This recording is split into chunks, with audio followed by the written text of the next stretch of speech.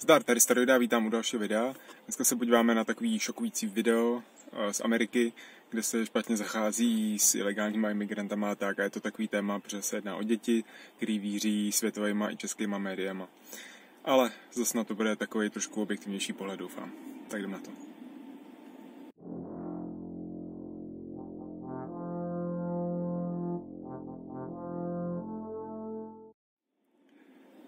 Mám to hodně, tak to vezmu rychle, ještě tam pak tomu bude nějaký edit a tak.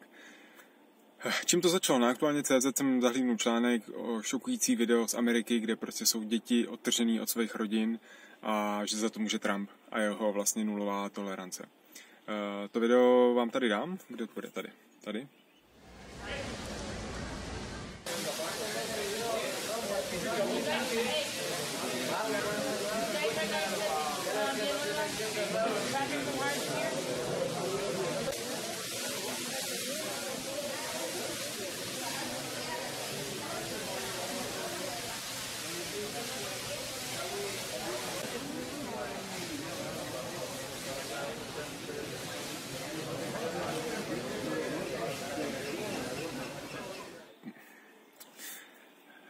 Takže jsem to trochu prostřídal, není to celý, protože to má asi minutu, odkaz je v popisku. Eh, bylo takhle na aktuálně, pak jsem ho našel i někde jinde, takže i na YouTube.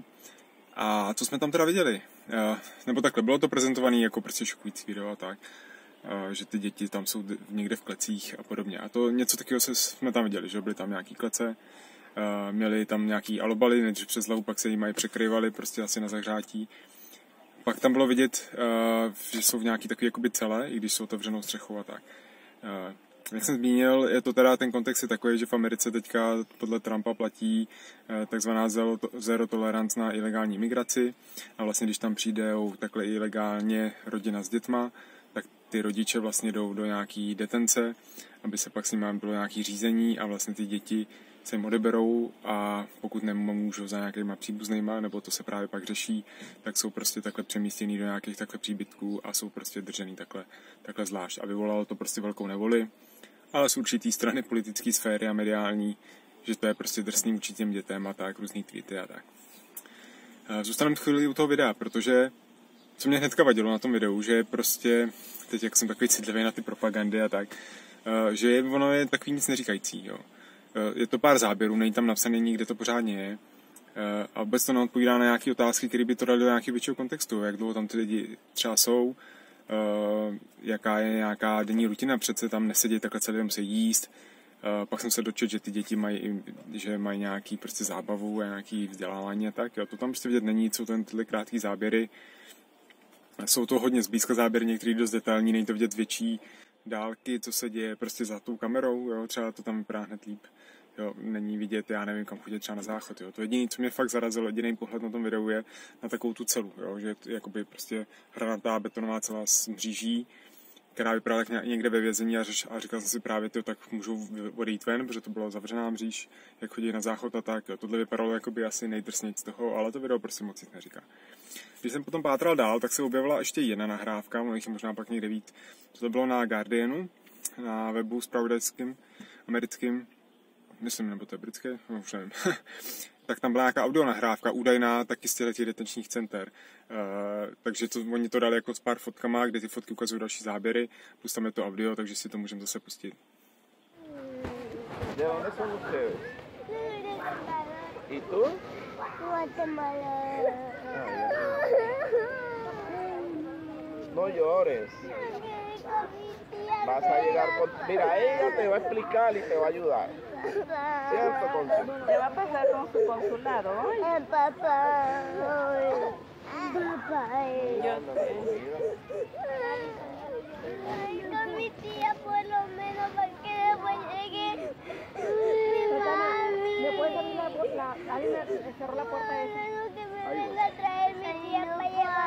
Ella, ella llama a tu tía si tú tienes número y habla con tu tía. Tengo el número de Ah, pues ahorita ella te ayuda para que hable. Cálmate nada más. No, papá. Voy por aquí, niña. Papá. Tak, uh, zase to bylo prezentované jako, že prostě heartbreaking, srdcerivný pláč těch dětí a že, že to je zase, že to může jakoby zneklidnit ty diváky, když se na to budou koukat, jo.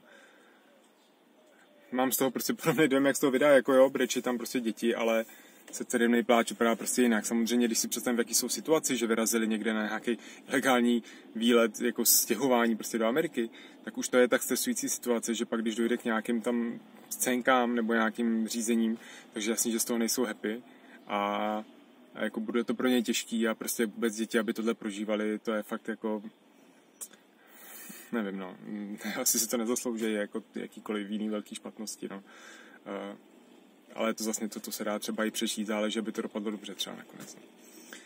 Uh, když jsem pátral teda po čem to je, protože jsem měl takový majáček, že prostě zase to je takový jako zkreslený, nějaká jakáby, jakoby propaganda, tak proti Trumpovská, tak.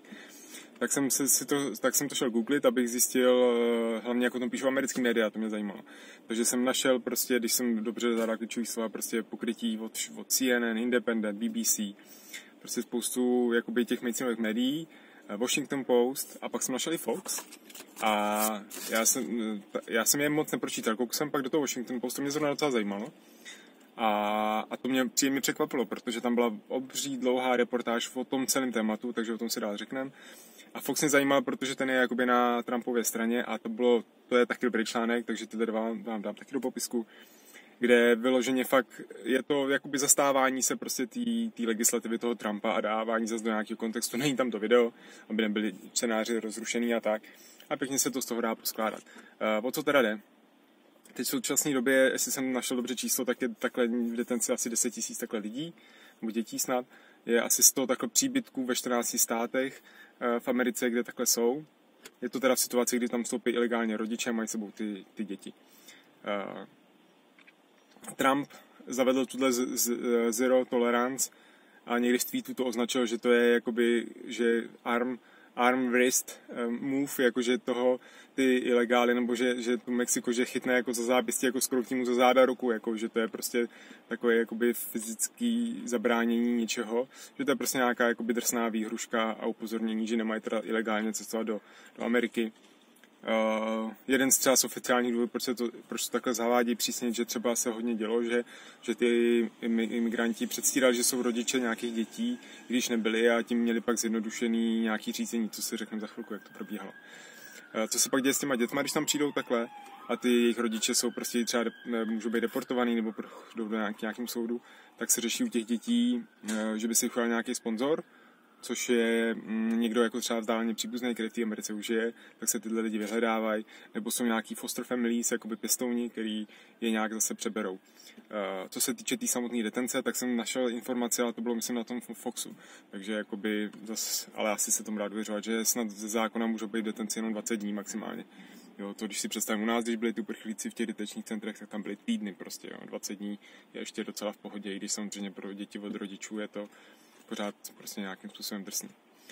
Co se týče té tý historie, protože Fox argumentoval tím, že ta legislativa je platná už dlouhodobě a že ty předchozí prezidenti taky prostě naplňovali do různých mám tady otevřeně tady byl do různý větší či menší míry. Jo. Uh, začínalo tam nějaká pohled do historie kolem roku 2000, kdy to byl hodně takový uvolněný přístup že vlastně, když tam přišla rodina s dětma, tak rovnou byli jakoby puštěný a poslaný k tomu imigračnímu soudu, kde mohli jakoby nějak projít prostě tou žádostí o tu imigraci, takže tam je prostě přijímali.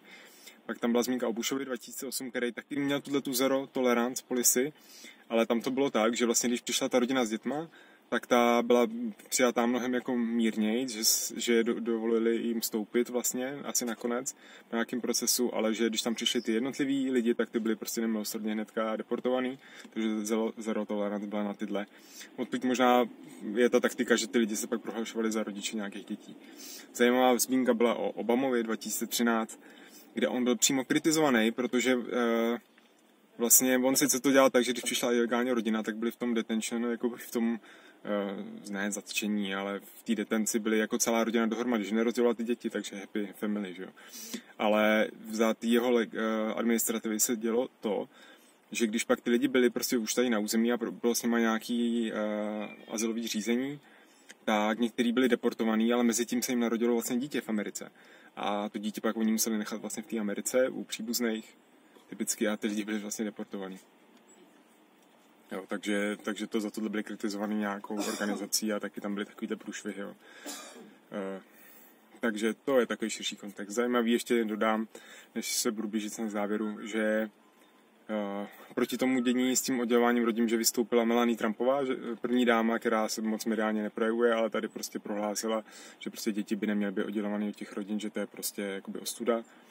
A pak se k tomu vyjadřovali ve tweetech, já nevím, Medlin, jo, bylo to od Brightová, myslím, že jo. Uh, pak i samozřejmě Hillary Clintonová, která prostě za srdce rybnej taky nějaký tweet. Budu se otočit možná. Srdce rovnej tweet uh, o tom, že prostě kdo kdy držel v náručí dítě, tak prostě musí tohle odmítnout a tak. Takže se na tom hrou polivčičku. Uh, než jsem si začal psát závěr, jak jsem si říkal, co český média, protože na ty jsem nekouk, tak jsem si to jen zkusil vyhledat a taky o tom psali všichni. Já jsem to chytil až jakoby dneska, možná už to je dva dny tak jako starší. A psali o tom prostě aktuálně novinky, Česká televize Lidovky, prostě všichni, je 24 a další, jen co jsem takhle jen viděl. A, a různý detaily o tom psali a rozhodně ne, takže to je šokující nějaký video, toto aktuálně bylo asi nejhorší, ale tak nějak se o tom eh, informovalo víc, čím méně podrobně, jo, jako by, že by někdo napsal takový dlouhý článek jako Washington Post, to prostě ani náhodou. Eh, hledal, zkusil jsem najít i nějaký jakoby dezinformační weby, jestli o tom nepíšou, a nic moc jsem nenašel v tu chvíli, nebo jako zase tak usilně jsem nehledal. Čekal jsem, že to najdu hnedka ve výstupu. Některé jiné zprávy, to mi Robinson, když dáte český hledat, tak najdete jenom jeho zastánce, že jo.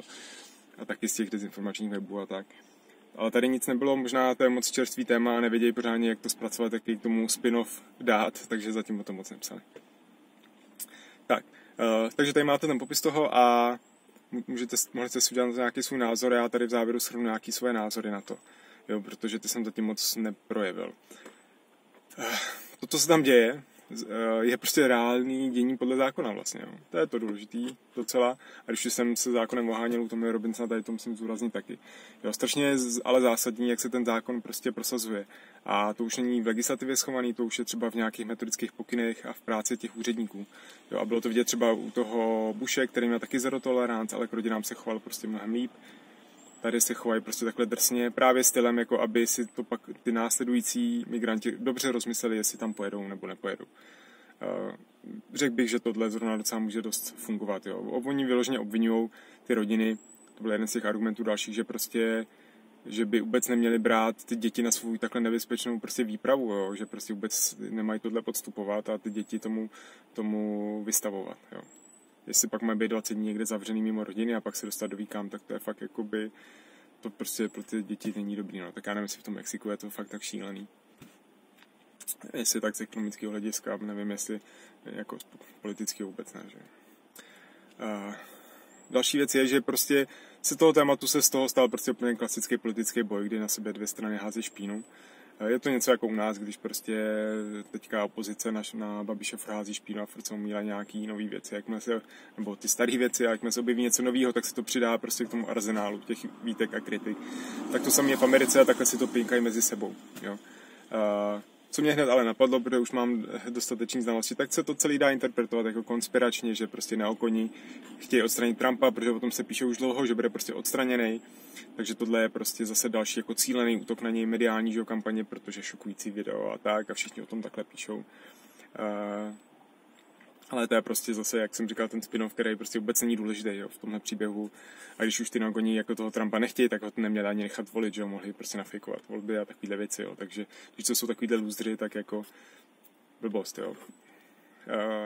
Čistě je to takhle ten, ten, ta kritika vůči Trumpovi, která je ale dost taková docela bezzubá, no, je to jen prostě nějaká epizodka. Docela zajímavý bod o tom je, že jakmile se to prostě týká těch dětí, uh, tak to jsou prostě mediální lže, uh, žně a je to prostě krásný příběh, který se dá takhle prodávat, prostě šokující děti, teda šokující video, brečící děti a rozdělený rodiny a tak. A proto to bylo pokrytý v těch západních médiích, uh, i v českých médiích o tom hodně lidi psali a i já o tom točím video, vlastně dá se říct, ani nevím ještě, jak je nám titulek, mám podle hodně klíčových slov, aby, aby se to chytlo. Jo, že prostě že to prostě, to takhle hned každý den blesk o tom píše a tak. Zajímavé je, že každý ty noviny to vzali i trochu po svým a dali tam různé detaily, různé informace a různě to interpretovali. Rozhodně to nebyl nějaký cílený prostě západní propagandistický útok na Trumpa. Jo. I ty české noviny psali každý docela různě podle toho, jak moc jsou prostě asi naladěný proti Trumpovským míň či víc. Jo. Takže to je docela... Dá se, dá se o tom pak přečíst hodně. No. Uh, další věc, co jsem chtěl říct, a už jsem o tom mluvil, to video samotný, mě, jak jsem ho viděl, tak mě prostě naštvalo, že prostě je takový nic neříkající, to audio, a když jsou nějaký jakoby videa, který produkuje třeba Rusko nebo vznikají tady jakoby dezinformační, tak jsou prostě podrobovány analýzám a jsou kritizovaný za různé prvky, které by se tady dali najít taky, jo, že prostě není zjistý, odkud to je třeba, když se mají hledat zdroje a odkud to video pochází, kdo ho vytvořil, to jsem se tam taky vlastně asi nedozvěděl, jo, možná jsem byl čet. Eh, a hlavně ale se kolem toho točil ten manipulativní výklad, nebo ten se na to dá pak nalepit, jo? můžeš to vysvětlit, jak chceš a můžeš odvozovat z toho chceš, ale nic moc tam vlastně vidět není. Jo? Poslední věc pozitivní, co chci říct k tomu, že tady je krásně vidět zase ten rozdíl mezi tou eh, pořádnou, seriózní žurnalistikou, když to řeknu takhle frázovitě, vůči těm dezinformačním webům a těm alternativním médiím, který prostě Jedna věc je, že na to třeba nemají týmy a prachy, ale prostě nemají ani tu dedication, prostě nedo, ne, nedokážu vytvořit něco, jako jsem se, jako jsem se dočetl v tom Washington Postu, kde to byla prostě sáhodlouhý text o, všech, o veškerém kontextu toho dění, jo. I ten Fox o tom psal prostě dobře. Zase z hlediska svý nějaký jakoby, narrativu, který prostě používá, protože podporuje Trumpa. Jo, takže prostě a hnedka vlastně po těch událostech, jo, že prostě to dokážu takhle zpracovat. Samozřejmě na to mají zase ty lidi, ale prostě tyhle velký témata, které prostě jsou reálně si zaslouží velký objektivní popis, komplexní, tak to prostě z alternativních médií nevyleze. Tam vylezou prostě jenom víc čím méně na, na, prostě dojmy, nějaký tvrzení a až konspirace a to je tak jako všechno. Jo, takže tady to byl dobrý příklad. Možná je to o tom, že ty naše české média v tomhle tom taky nejsou zase tak jakoby převratný, možná ten můj respekt slavný, který čtu a jakoby propaguju, tak dokáže produkovat fakt dobrý články i docela objektivně napsaný, i když si o nich můžete myslet, co chcete. Takže tak. Tak jo, to by bylo všechno k tomuhle videu, docela připravený, tak snad se vám líbilo, pokud se vám líbilo, hoďte like. A pokud jste tady u mě nový a dochukali jste to až sem, tak, tak mrkněte na další videa, dejte odběr, točím na různý témata, ale tyhle ty společenský a politický docela často, ty konspirace už taky docela často. A to už mě mý diváci znají. Tak jo. Nebudu se zdržovat, vyrazím domů a vy se mějte a uvidíme se u dalšího videa. Tak jo, čau.